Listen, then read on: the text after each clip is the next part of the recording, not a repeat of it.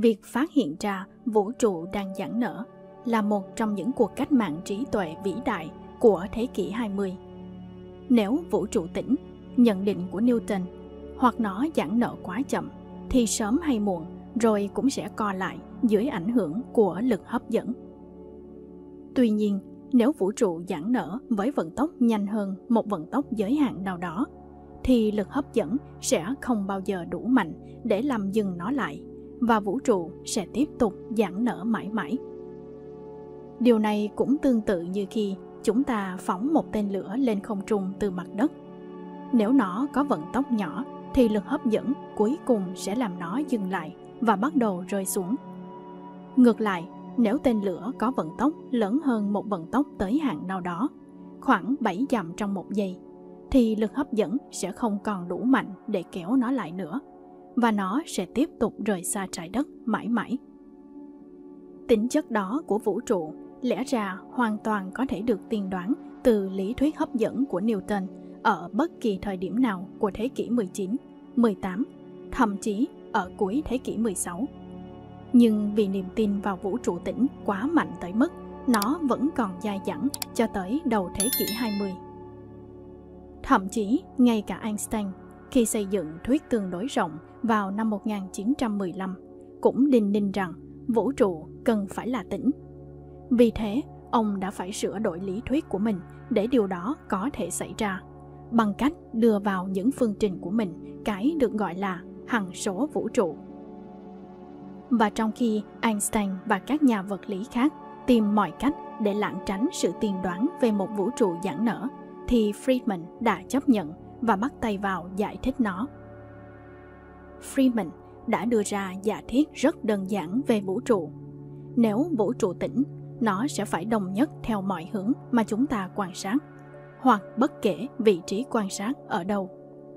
Thực tế, vào năm 1922, ít năm trước phát minh của Hubble, Friedman đã tiên đoán chính xác điều mà Hubble tìm ra. Phát kiến tiền phòng mở đường cho sự khám phá của Hubble.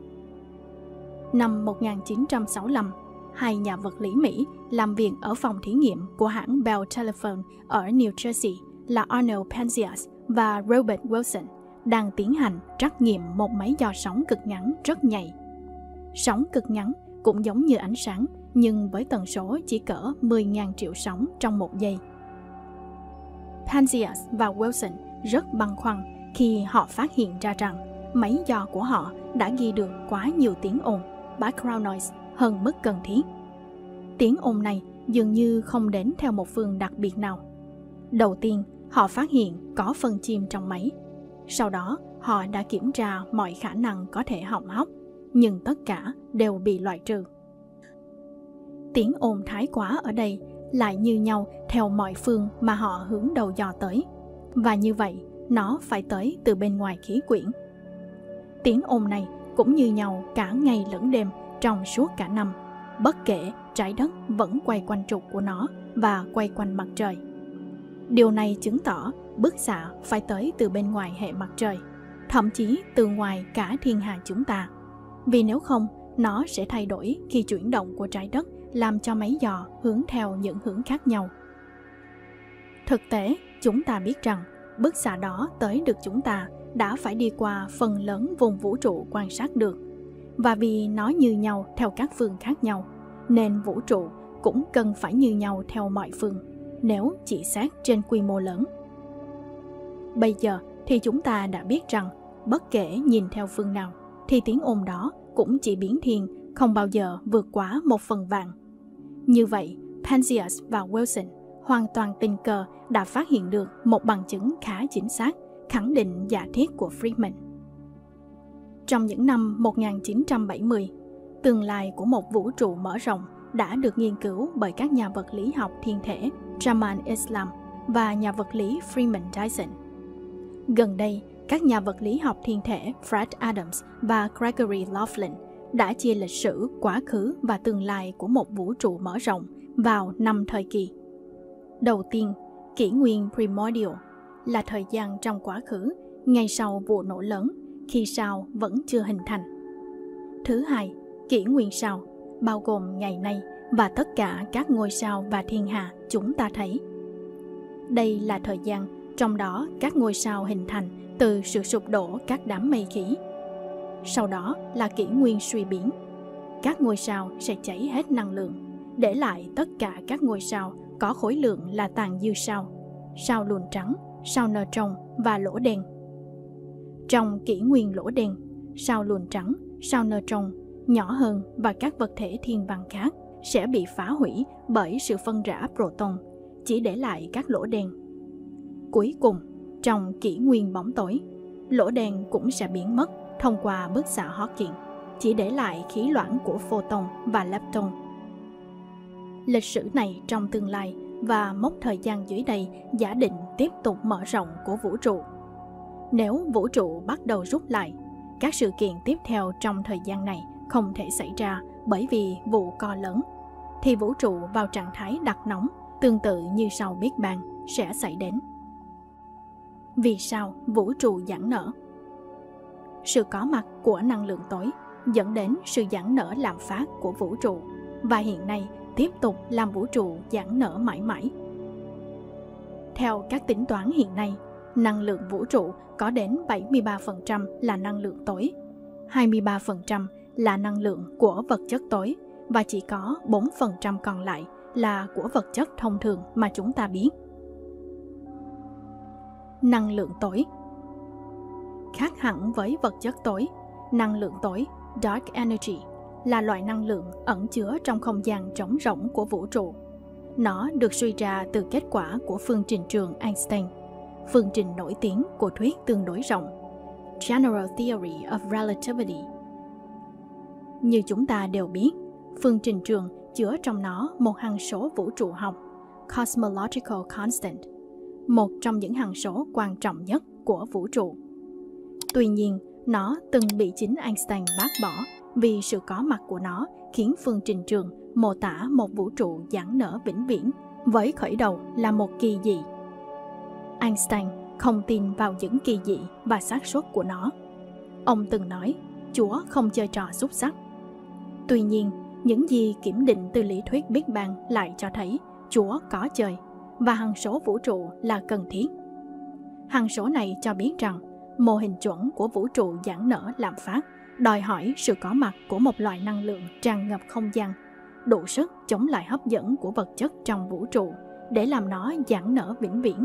Và người ta đã gọi loại năng lượng này là năng lượng tối.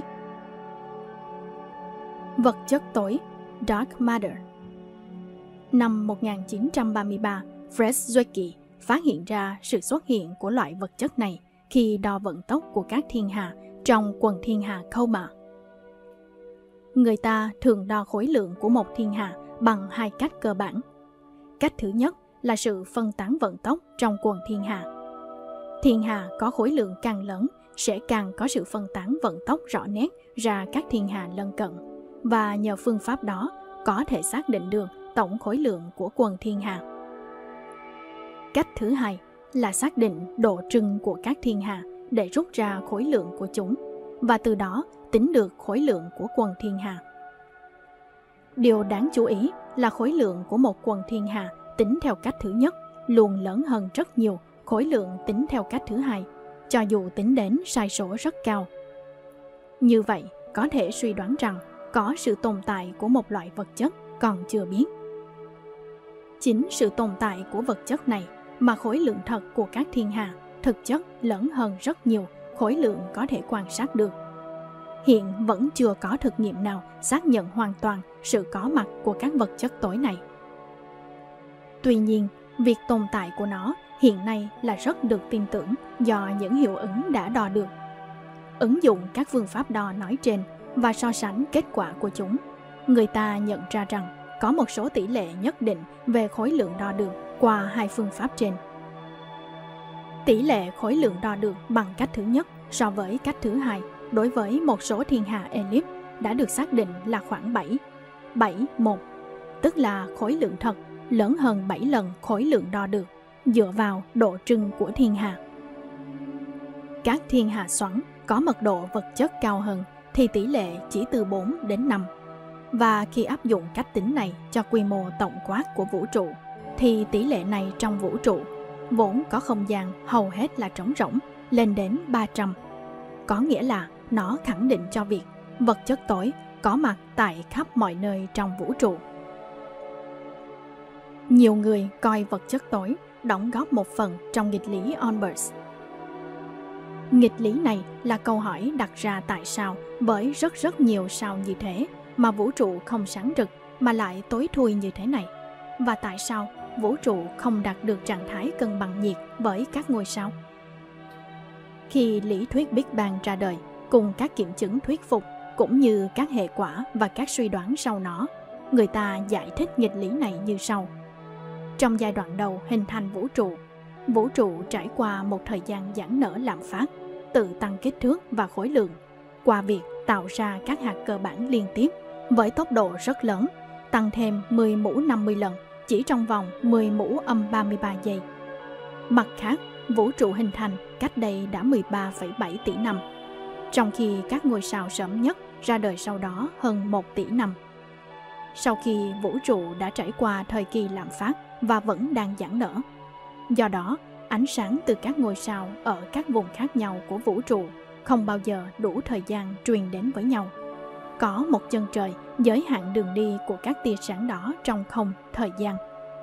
Chính vì thế mà vũ trụ không sáng rực như ban ngày và các ngôi sao không đủ thời gian để truyền toàn bộ nhiệt của chúng cho không gian xung quanh. Một phần lý do nữa là có một số người giải thích rằng vật chất tối nói tới ở trên đã ăn bớt mất ánh sáng. Do đó, chúng làm giảm một cách đáng kể mật độ ánh sáng trong vũ trụ. Hiện nay, chưa có kiểm chứng nào cho thấy hạt ánh sáng, photon, có thể bị hấp thụ. Tuy nhiên, sự tồn tại phổ biến của vật chất tối cũng nói lên một vai trò rất quan trọng nữa của nó. Đó là nó đóng góp vào việc kiềm chế sự nở ra của vũ trụ, tránh cho vũ trụ có một cấu trúc không thời gian làm phát hoàn toàn. Như thế thì hẳn đã không có chúng ta ở đây. Trái đất là trung tâm của vũ trụ. Thoạt nhìn thì bằng chứng của Panzias và Wilson đã xác nhận rằng vũ trụ nhìn như nhau theo bất kỳ hướng nào mà chúng ta quan sát. Từ đó dẫn đến ý nghĩ cho rằng có một cái gì đó đặc biệt về vị trí của chúng ta trong vũ trụ.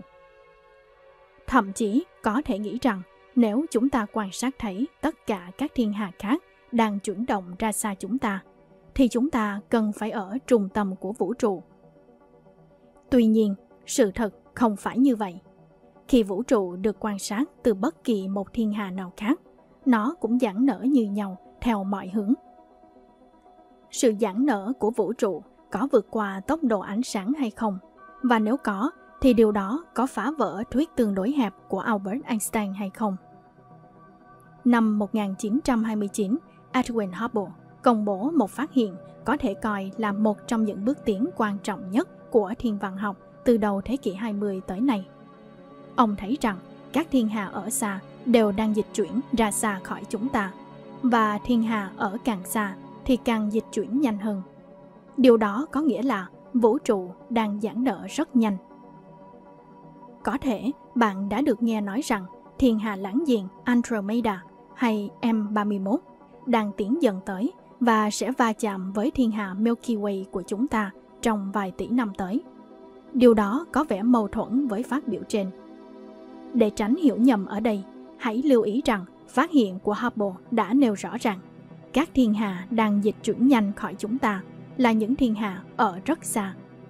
Rất xa ở đây có nghĩa là hàng trăm triệu năm ánh sáng trở lên. Điều đó không có nghĩa là ở khoảng cách gần như Andromeda, khoảng 2,5 triệu năm ánh sáng, thì vũ trụ không giãn nở, mà sự giãn nở ở khoảng cách đó nhỏ hơn nhiều so với các chuyển động dưới tác dụng của trường hấp dẫn. Quay trở lại với khám phá của Hubble. Với phát hiện này, một định luật mang tên ông được đưa ra. Trong đó có sự liên hệ giữa vận tốc dịch chuyển của một thiên hà và khoảng cách của nó. Công thức cụ thể như sau. V bằng H0D. Trong đó, V là vận tốc dịch chuyển ra xa của thiên hà. D là khoảng cách của nó tới người quan sát. Ở đây là trái đất. Và H0 là hằng số Hubble đối với một thời điểm cụ thể. hằng số được quy ước ban đầu là h. Tuy nhiên trên thực tế, tốc độ giãn nở không phải cố định mà có thể theo thời gian, nên h có thể thay đổi. Vì vậy, các nhà vật lý quy ước h0 là h đối với một thời điểm cụ thể. Dễ hiểu hơn là h ở thời điểm thực hiện phép đo, tức là hiện tại. Theo kết quả đo tính đến cuối năm 2020, H0 có giá trị xấp xỉ 67,6 km trên giây trên megaparsec. Trong đơn vị mà bạn vừa thấy, MPC là viết tắt của mega parsec có giá trị bằng 1 triệu parsec và mỗi parsec thì có giá trị xấp xỉ 3,26 năm ánh sáng. Con số rất lẻ này không phải ngẫu nhiên mà nó là khoảng cách để một đoạn thẳng có độ dài một đơn vị thiên văn sẽ được nhìn với góc có độ rộng một giây. Nếu vấn đề quy ước và hình học này làm bạn đau đầu và mất tập trung vào nội dung chính, hãy cứ bỏ qua nó và chỉ cần nhớ rằng một mic là khoảng cách tương đương với 3,26 triệu năm ánh sáng. Và như vậy, giá trị của hằng số Hubble nêu trên có nghĩa là một thiên hà cách chúng ta 3,26 triệu năm ánh sáng thì đang dịch chuyển ra xa với vận tốc 74 km trên giây, cứ thế nhân lên. Điều đó cho thấy rằng thiên hà ở càng xa, vận tốc dịch chuyển sẽ càng lớn, theo biểu nêu trên. Vậy nếu nó đủ xa để vận tốc vượt qua cả tốc độ ánh sáng thì sao? Hơn 20 năm trước khám phá của Hubble, chính xác là vào năm 1905, Albert Einstein đã công bố thuyết tương đối hẹp. Trong đó có nêu rõ rằng vận tốc ánh sáng là vận tốc lớn nhất trong vũ trụ, không gì có thể vượt qua. Đây hoàn toàn không phải vấn đề của giới hạn về công nghệ hay việc khám phá khoa học đã đi xa tới đâu, mà là một nguyên lý tự nhiên. Vậy, nếu ở những nơi đủ xa của vũ trụ, một thiên hà nào đó dịch chuyển ra khỏi chúng ta lớn hơn vận tốc ánh sáng thì sao? có phải nó đã phá vỡ thuyết tương đối hẹp của Einstein? Câu trả lời là không hề. Việc đó không mâu thuẫn với thuyết tương đối hẹp mà chỉ làm rõ hơn ranh giới của nó. Để dễ hình dung, chúng ta hãy lấy một ví dụ nhỏ như sau. Một thí nghiệm mà bạn thậm chí có thể tự làm ở nhà. Đặt một con kiến lên giữa một dải băng cao su có một đầu được cố định con kiến này sẽ chạy trên đó theo bất cứ hướng nào mà nó muốn, với vận tốc 6cm trên giây chẳng hạn. Bây giờ, bạn có thể cầm đầu không cố định của dải băng và kéo mạnh cho nó giãn ra thật nhanh. Con kiến đứng trên dải băng sẽ lập tức đi ra xa khỏi cả hai đầu, gồm cả đầu cố định và đầu mà bạn cầm, nhanh hơn rất nhiều so với vận tốc 6cm trên giây của nó, bất kể nó đang dịch chuyển theo hướng nào. Vấn đề là nó không biết tới điều đó nếu không quan sát hai điểm đầu giải băng. Vì đối với chính giải băng mà nó đang đi trên đó thì vận tốc của nó vẫn là 6cm trên giây. Chuyển động của các thiên hà cũng như mọi vật thể khác trong vũ trụ cũng vậy. Vận tốc của mọi thứ đi liền với khung tham chiếu của chúng, hay dễ hiểu hơn là cái nền mà chúng di chuyển trên đó, giống như con đường mà bạn bước trên hay giải băng cao su của con kiến trong thí nghiệm vừa nêu.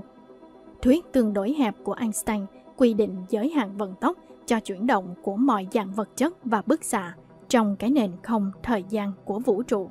Nó chưa hề quy định giới hạn vận tốc cho sự giãn nở của chính bản thân không gian. Một cái nhìn khác Có thể bạn đang tự hỏi, vậy hóa ra thuyết tương đối hẹp chỉ để mô tả một phần cục bộ nào đấy, chứ sao còn phổ quát nữa. Có thể nói, việc coi thuyết tương đối hẹp là một lý thuyết cục bộ, không sai. Tuy vậy, nó vẫn giữ được tính phổ quát với không thời gian mà chúng ta biết. Vì nên nhớ rằng, cho dù những thiên hà ở rất xa đang dịch chuyển nhanh hơn vận tốc ánh sáng ra xa khỏi chúng ta, nhưng vấn đề mấu chốt nằm ở khoảng cách. Chỉ có khoảng cách mới quyết định được điều đó không phải bất cứ thứ gì khác. Vì vậy, bạn vẫn sẽ không bao giờ thấy được một con tàu hay một loại vật chất hoặc năng lượng bất kỳ di chuyển nhanh hơn ánh sáng, bất kể công nghệ có phát triển bao nhiêu năm nữa. Vì thế, lý thuyết của Einstein vẫn thể hiện tính chính xác của nó. Chúng ta hãy nhắc lại về khái niệm vũ trụ quan sát được. Nói một cách đơn giản, đây là vùng vũ trụ mà ánh sáng từ rìa của nó có thể tới được với chúng ta. Hiện nay, vùng vũ trụ quan sát được có bán kính được xác định là khoảng 46,5 tỷ năm ánh sáng. Điều đó có nghĩa là những nơi cách chúng ta quá 46,5 tỷ năm ánh sáng thì mọi thứ đang dịch chuyển ra xa khỏi chúng ta với vận tốc lớn hơn vận tốc ánh sáng. Và điều đó khiến cho bất cứ thông tin gì từ đó sẽ không bao giờ tới được với chúng ta.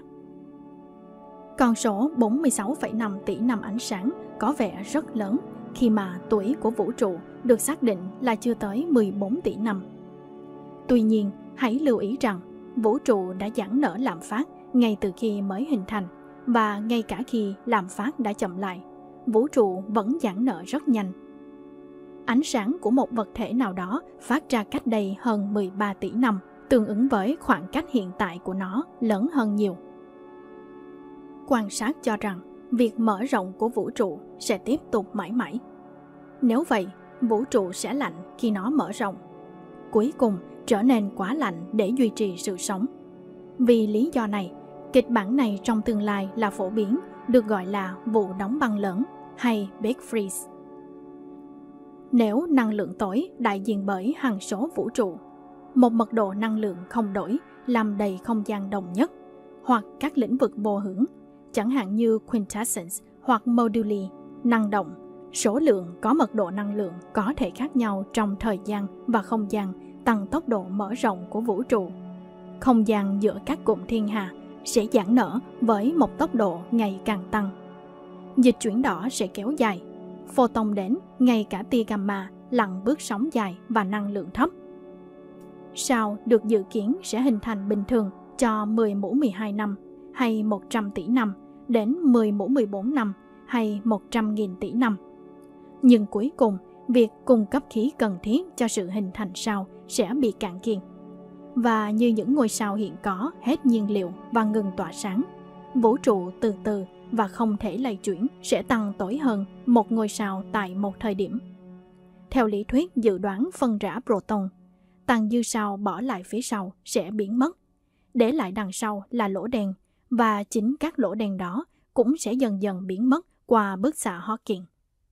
Cuối cùng, vũ trụ đạt đến một trạng thái trong đó nhiệt độ tiếp cận một giá trị chung, không có thêm hoạt động xảy ra. Kết quả cuối cùng là cái chết nhiệt của vũ trụ. Vũ trụ giãn nở cho ta biết điều gì? Có một sự thật rằng, chúng ta nên sắp xếp các chuyến du lịch xuyên thiên hà sớm hơn, vì nếu quá muộn thì sẽ không còn kịp nữa. Ngay bây giờ, con người đang bị ngăn cách trong một vùng không thời gian so với điểm đầu của Big Bang bằng 14 tỷ năm ánh sáng. Không gì có thể giúp chúng ta vượt qua được ranh giới đó. Nếu có người ngoài hành tinh ở bên kia ranh giới, dù có công nghệ vượt trội thì họ cũng chỉ bất lực nếu muốn xâm chiếm trái đất. Bạn nghĩ sao về những thông tin trên? Để lại ý kiến trong phần bình luận cho chúng mình biết nhé. Đừng quên đăng ký Radio Vũ trụ để xem những video mới nhất nhé.